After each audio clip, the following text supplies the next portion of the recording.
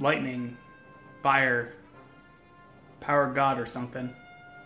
Kevin Shirk here, the Indiana Jones nerd yet again, and I just wanted to share the latest footage from Bamburgh Castle here with you guys. And this is the best look that we've had so far at that controlled fire in that burned out uh, tower there that we have, the bombed out tower. And we see the lighting fixtures in use here, and they are clearly simulating uh, lightning, in my opinion. Seems that there's going to be some lightning in this scene.